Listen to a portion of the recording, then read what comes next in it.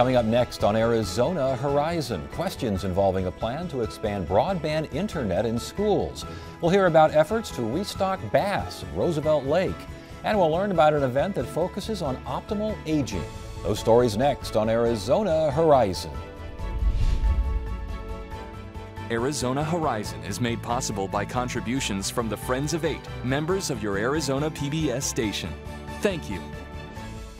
Good evening and welcome to Arizona Horizon. I'm Ted Simons. The governor's office is proposing a plan to expand internet broadband infrastructure for schools at a cost of $350 million. But the plan is facing opposition from school officials. Joining us now is Chuck Essex, Director of Governmental Relations for the Arizona Association of School Business Officials. Good to see you again. Thanks for Thank joining Thank you for us. having me, Ted. Broadband infrastructure across Arizona. This is very important stuff, and we've got a ways to go to catch up to other states on this, don't we? Uh, we certainly do. And we, we've had many years where we haven't done as much as other states. It's, but it, it impacts our schools, it impacts our libraries, it impacts our hospitals, it impacts all our individuals. And the importance, again, to education, because that's your focus. Uh, talk to us about that. It, it connects education and students to the world. Uh, part of it, what's being focused on, is the testing program, because the new testing program to the state will be an online testing program. But that's only for a small portion of the year. Main thing with the internet, not only in Arizona, but in all the other states, they're using it for students to access information globally, to be connected, and to do courses online. It just has such great influence on a student's education. So if we are lagging 15 to 20 years behind, and here's a plan now to spend $350 million to get back up to speed, what's the problem? There's absolutely no problem with the plan. I've not talked to a school person who has, who isn't excited to see this coming to Arizona, and but so should everybody else in the state because it would really move our state into the superhighway, information highway mode. What con school, what concerns schools is how it's being funded. They object to the fact that they're being singled out and having to pay a portion of the cost themselves, where no, other portions of the state that will benefit from it really aren't being assessed the cost. It's something great for the state to do and something good for the state to fund. And this is $15 per student uh, for six years, something along those so, lines? Uh -huh, yes, that's correct. It's like, a, so $15 million maybe a year for six years? $990 million. So the total cost is 350 million. Schools, it sounds like that's about a quarter of the total cost, correct? That's correct. Okay, and then the general fund would be a quarter of, of the cost, and then a private firm pays what? Uh, they say the private uh, companies will pay about half of the cost because they'll benefit from it because they'll be able, they will own the system and be able to market the service. So a quarter of the cost, do you think that still is too much for That's, schools to pay? Uh, Definitely. When you look at, first thing I just went on the internet today, broadband creates jobs, broadband a catalyst for small business growth. It'll be such an economic boom to Arizona, but it's also, I don't know how you assess who benefits the most. Libraries are going to benefit, schools are going to benefit, hospitals are going to benefit, doctors are going to benefit, people's businesses are going to benefit. So why just single out schools? This is something the state ought to take responsibility for. And you, people have heard this before. Schools have been hit pretty hard over the last five years with budget cuts, and it's just one more thing that they don't need to pay for. I, I know that there's an argument that schools could pay for this through the inflation adjustment adjusted funds. Your thoughts on that? The inflation adjustment funding is to do just that. So schools don't lose ground to inflation, which they've lost ground over the last five years. So you're right. You could use that to pay for just about anything, but then it defeats the purpose. The inflation funding is so schools can keep pace with inflation so they don't have to cut programs. The idea of the schools, again, a quarter of the total cost. Um, the fees would then go to the state. You could then leverage that money to get federal money. You leverage the federal money to get more private development in here. Uh, the schools are a part of the community, in many cases, the focus of a community. A lot of lawmakers I'm hearing saying, uh, why not? Um, well, well, when you look at the schools in most communities, they're the center of the community. When the, the, the in information gets to the school, it's going to be available to everybody in the community. So why doesn't the state make that when they built, I was quoted in the paper, when they, when they built the highway to Flagstaff, they didn't charge Camp Verde because Camp Verde was going to benefit from that. And that's the same way we shouldn't charge schools. The second thing with schools, a lot of schools have done a lot of the work already and they're going to be charged $15 per student, where some district that hasn't done anything. So there's a fairness issue involved, but also if there's anything the state should do, this is it. Okay, so if that's not the best idea as far as funding, uh, uh, what is a good idea? A really good idea is the internet tax that is most likely going to be in place in most states. That right now, the, a lot of the internet sales are not taxed unless the company has a presence in their own state with a warehouse or something like that. The federal government is pretty close to changing that. Um, and once they do, Arizona is estimated to get a hundred to seven hundred million dollars in additional revenue each year what a better place to use some of that money early on to get this project completed. And once it's done, then they can go use the money for other purposes. But what a great way, because the reason that, that people can shop on the internet is because they have access to the internet. And expanding internet will expand that concept. And, yet there's already talk of maybe cutting Arizona income taxes uh, correspondingly to what those internet taxes might be in order to keep Arizona consumers from facing a tax hike? Well, I don't think it's a tax hike because if you would have purchased a television in Arizona at a store, you would have paid the sales tax. You purchase it online, you don't pay the sales tax. It's just an equity issue, and other other um, purchases are covered. Should, uh, with a, again a quarter of the funding coming from schools, and school officials saying that's too much. It, what isn't too much? An eighth, a sixteenth? What? What? Uh, I, I, think people ought to look at it differently. They ought to look at this benefits everyone in the state. So rather than trying to figure out who benefits by how, what percentage, this is something that the state should take on and get it in place. And then the districts and homeowners and everybody else can pay the annual fees to use it. But I don't know how you determine who benefits by how much. And, and, indeed, last question here, Senator Don Shooter, who's uh, very much behind this, said it's good for the community, hospitals, government agencies. They can all tap in along with the schools. It's all good. Everyone's contributing. You're just saying too he, much on the backs of the kids? Well, he proved, he proved my point. Uh, of that group you just listed, the only one that's being assessed a fee is schools. Everybody else is going to benefit, and they're not being assessed the $15 per student or anything similar to, to what schools are. So he's basically proved the point that this is something good for a wide variety of people. Why not have the state take that responsibility on? General fund, a quarter of the, the amount paid as well in this particular plan. More, you think, should come from the state? Or maybe the private sector can make a greater contribution. We also have, if you notice, President, the President has proposed $750 million, I think, of new money from businesses.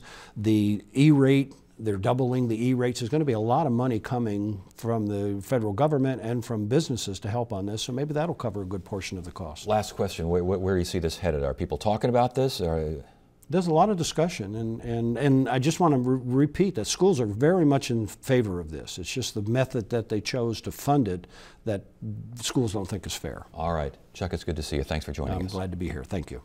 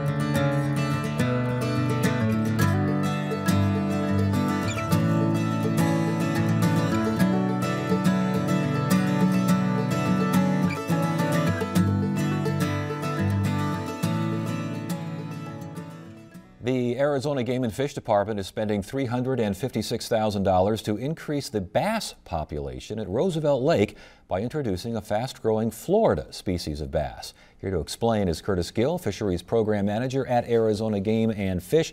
It's good to have you here. This is fascinating. I had no idea that this kind of a problem existed out here. Uh, why is this increase again needed bass at Roosevelt Lake? Well, in uh, over recent years, we've noted a pretty big decline in our fish populations at Roosevelt Lake. We've noted about a 75% decline in our electrofishing catch rates for largemouth bass, and about an 80% decline in our bluegill electrofishing catch rates. Uh, same with our black crappie out there. Our gillnet catch rates have declined by about 80%. And we've also seen a decline in the condition of those fish. And why is that? What's going on? Uh, there could be a number of factors contributing to that. We've had uh, gizzard shad showed up for the first time in Roosevelt Lake in 2007. That's an illegally introduced species. Um, they can compete with uh, sport fish in the larval stage and can also, um, they outgrow uh, the gape size of many of the sport fish so quickly that they're, then they're unavailable as forage. We've also had largemouth bass virus uh, show up in Roosevelt Lake. It was first detected in 2011. Although we haven't seen declines in our fish populations from largemouth bass virus yet, it has been shown to, to cause declines in other states. Uh, we have decreasing water levels at Roosevelt Lake. It's been um, on the decline for the past three or four years during the spring. It's a time when the fish are spawning, so that can dry out their spawning sites, mm-hmm. and you can have really poor reproductive year classes. Uh, additionally, we've also seen golden algae show up. We had major fish kills at our other Salt River chain lakes, Saguaro Canyon and Apache Lakes, back in the mid 2000s as a result of golden algae, basically eliminating the smallmouth populations at Apache Lake. And so we saw noted our first fish kills at Roosevelt in 2012. So we have a number of things that kind of collided all at once out at Roosevelt Lake that have attributed to these uh, declines in our fish populations. And, and that's a big, well, Roosevelt, it seems to me, correct me if I'm wrong, was once considered a huge bass location, like one of the best in the country, wasn't it? Yeah, it was noted as one of the best in the country, and it's uh, our second highest in angler use in the state. Okay, you mentioned all these things. I want to go through them uh, a little finer tune here in a second here, but what about, and I've read about this, in other lakes in other parts of the country, cormorants are mm -hmm. being blamed for lots of fish dying off and fish levels slowing. Cormorants a problem at Lake Ro uh, Roosevelt Lake? Not at Roosevelt Lake. We do have issues at some of our urban lakes, like Tempe Town Lake and some other smaller urban lakes, but uh, large lake like Roosevelt, we just don't have the population of cormorants out there that we're seeing any so impacts not, not that big a concern. Not at Roosevelt, no. You mentioned gizzard shad. Now, gizzard yes. shad. This is this is a a, a fish, mm -hmm. invasive. Yes. And it's pushing out the smaller shad. Is that the idea? Correct. Threadfin shad is our, our forage base that we had prior to the uh, gizzard shad sh showing up. Threadfin shad grow to only about maybe six or seven inches maximum length, uh, whereas gizzard shad can grow up to, to 16 to 18 inches. And they can grow to eight inches within their first year of life. So they quickly outgrow the, uh, the size that most fish can eat them, most sport fish can eat them. Even the largemouth bass, not not uh, not as large a mouth needed, huh? Right, and that's that's one of the things maybe the Florida strain can help out with. They they grow faster and larger than than the, the northern strain that we have in there. So that, there's a possibility that they may be able to eat some of these gizzard shad. We'll talk about this Florida species. They're, they're faster producing, bigger. What are these, like super bass? What, what's going on here? no, they're just a, a, a strain of largemouth bass that uh, typically do well in warmer climates. Uh, like they're, you know, in Florida especially, they, they're known for their fast growth and then the, the size that they can attain. And so Arizona, we have very similar conditions to some of these other states that have shown a lot of success with Florida strain largemouth bass, like Texas and uh, Oklahoma have had really good success um, growing larger bass with are, the, using the Florida strain. Are they as easy or are they more difficult to catch? Um, that kind of depends. There's been studies that show they are a little bit more difficult to catch. Um, there's also some, some studies that say they're basically the same. So um, it's kind of it's kind of mixed on the research that you read on that. But. When they're more difficult to catch, what does that mean? They're just a little smarter than the average bass. I mean, what's uh... smarter? just wary of lures yeah. and these sorts of things. Yeah. Um, are they more expensive than our Arizona homegrown bass? They're fairly expensive, and I don't know if that they're more expensive, but the bass in general are just, you know, they're um, right now I think the going rate on largemouth bass is about twenty dollars per pound, mm. so almost twenty dollars a pound. So wow. they're, they're, fairly expensive. The uh, you mentioned the falling lake levels. Mm. Um, and, and, not as many nutrients and not as many hiding places. Talk to us about this and, and the, the idea of maybe some artificial reefs out there for what the, the uh, Arizona bass kind of like to hide in spring a little bit, huh? Is that the idea? Yeah, many of our reservoirs in Arizona, they're typically fairly devoid of any kind of aquatic habitat. Roosevelt Lake, when it's full, does actually have a lot of submerged trees, uh, things like that to provide habitat, but it's been down in elevation now for three or four years. And so it's only about, I think, 48% full right now. So when it's at that elevation, you know, these reservoirs were formed in steep canyon, uh, mm -hmm. a river bed basically. And so there's not a lot of habitat there. So one way we're hoping to help counteract the, uh, the declines we've seen is create some habitat, gives uh, spaces for you know young fish to avoid predation from from other fish and and grow and. But I, I did read, and tell me if I'm wrong here again now, that the, the, the largemouth bass here in Arizona, they like to hide and attack and, and use some of these hiding places, as opposed to this Florida species, which is so big they say, here I am, I'm going to come get you, and that's about it. well, in all honesty, I'm not Okay. I wasn't familiar with that difference. All right. Well, I was just maybe I read a little bit too much into the uh, the difference between those. The impact on local businesses, hotels, marinas. I mean, we can talk all we want about sports fishermen and what they're going through, and it's a concern, and there's a, but there's a business aspect to this too, isn't there?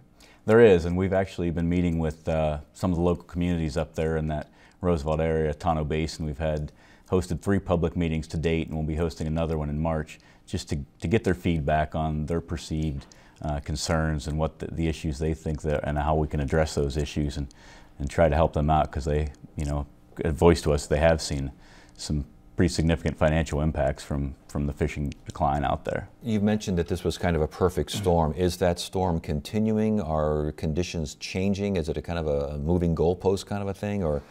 Well, the, the one thing we did note with our most recent surveys with the decline in all the other fish species that we saw, we did see a decline for the first time in our gizzard shad population since they've shown up. Um, whether that's going to be a long-term trend, I don't know. Yeah. Um, but as far as other factors like the golden algae, um, unless we get some precipitation the latter part of this winter, there's a, a really good chance that we can have uh, golden algae fish kill there again this summer because it's triggered by higher conductivity levels. Uh, so when we don't have the runoff in the Salt River system, mm -hmm. those conductivity levels rise, and we can see fish kills related to golden algae. So, just uh, last question here, just out of just out of my curiosity here, how do you know how many fish are in the lake. How do you do samplings? How, how does that work? Uh, we do sampling with a boat, an electrofishing boat, and with gill nets. So electrofishing boat is our primary tool that we use for uh, sampling largemouth bass. That's the most effective way to, to do that.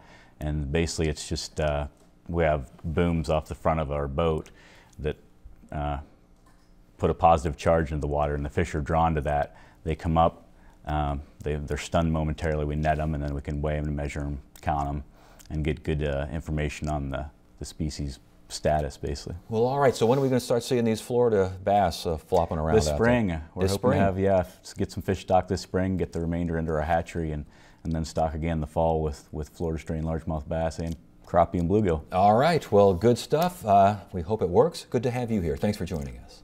Thanks for having me.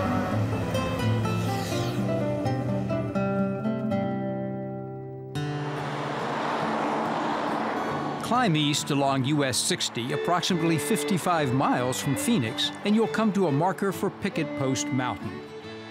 Early Mexican residents called it Tordillo Mountain after small birds in the area. In 1870, the soldiers of Indian fighter General George Stoneman renamed it Picket Post Mountain for the sentinels they posted here high above infantry camp established at its base.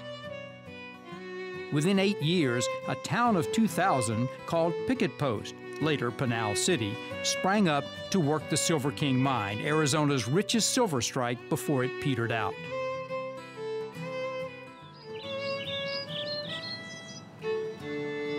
Today, thousands flock to the foothills of Picket Post Mountain to stroll through Boyce Thompson Arboretum, home to more than 6,000 plant species and 270 kinds of birds.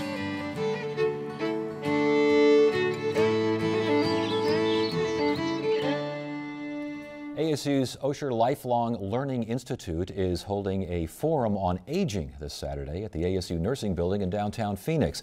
The event is titled Abundant Aging and Longevity and will feature speakers presenting the latest research on a variety of age-related issues. Here now is Richard Knopf, director of the Osher Lifelong Learning. It is Osher, correct? That's correct. All right, because I want to make sure I get it right because it's going to be around for a while. It's a lifelong learning yes. uh, institute.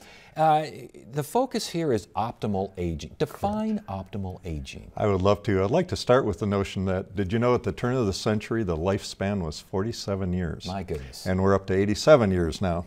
So what is happening is we have a preponderance of older adults with a lot of gifts, uh, a lot of ways to contribute to society. And historically, many people have looked at older adults as frail.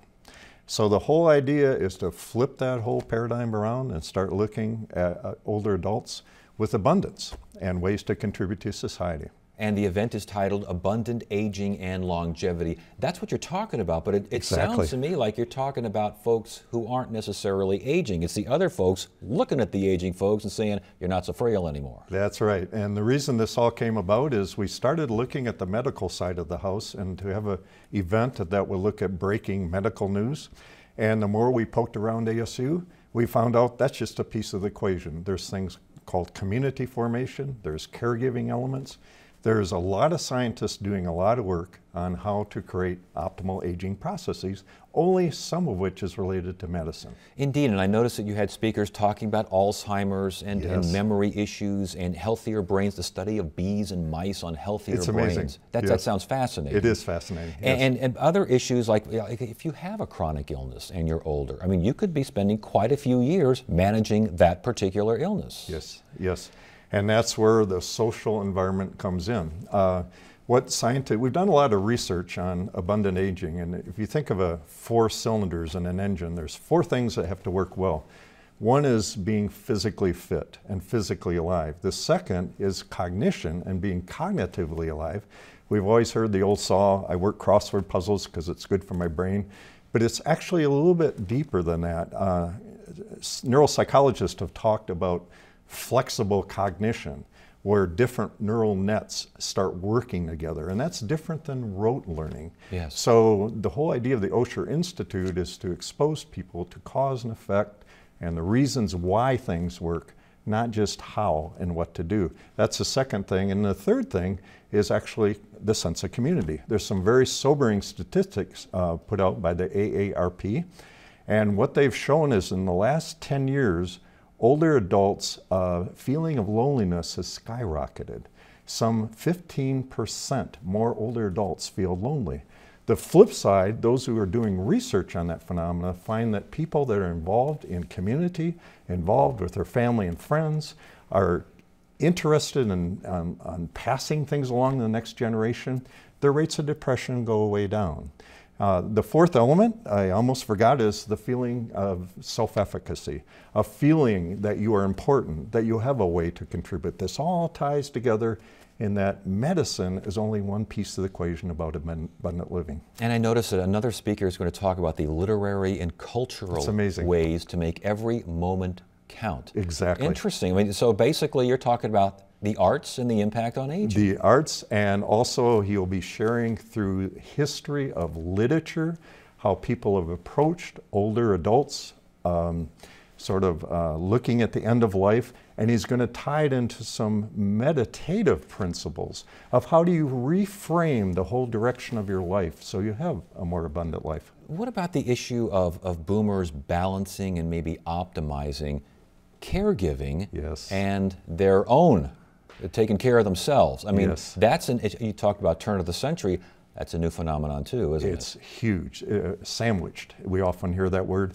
And Dr. Kuhn will be speaking about that very issue of how to actually balance your own lives as you do the caregiving for your uh, family. Is mm-hmm. this an evolving uh, issue? Is this something that we're learning something new all the time? It sounds like it is because, as yes. you mentioned, it's something that hasn't necessarily been around all the time. Yes, and that's the phenomenal uh, part of ASU in which I'm very proud is uh, the revelations are just incomprehensible uh, happening every month. Uh, so yes, we're proud of that. Before we let you go, the Osher Lifelong Learning yes. Institute. Give us a brief synopsis. What are we talking about? A brief synopsis is part of Michael Crow's vision for an age-friendly university.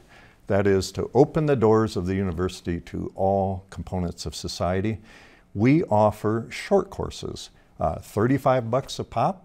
Uh, about 150 to 160 courses a year. It's literally simulating the ASU experience. You can come in and have a short course, no test, uh, four sessions on sociology or on neuropsychology or on robots and the planets, on and on and on. It's to bring older adults access to ASU intellectual, cultural, and social experiences. All right. Abundant Aging and Longevity. This is 9 a.m. to noon on the 15th at the Nursing College, correct? Exactly. All right.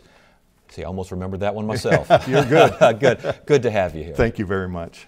And tomorrow on Arizona Horizon, Senate President Andy Biggs and House Speaker Andy Tobin will be here for their monthly discussion of issues at the Capitol. Legislative Leadership, Tuesday evening, 5.30 and 10, right here on Arizona Horizon. A reminder, if you want to see what we're working on uh, for future shows, I want to see maybe a past show, information on what we're doing here at Arizona Horizon, check us out, azpbs.org slash horizon.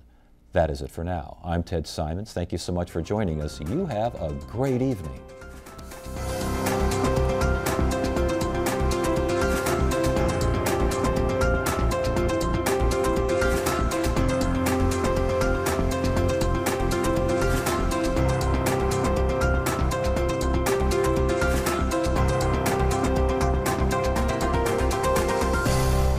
Arizona Horizon is made possible by contributions from the Friends of Eight, members of your Arizona PBS station. Thank you.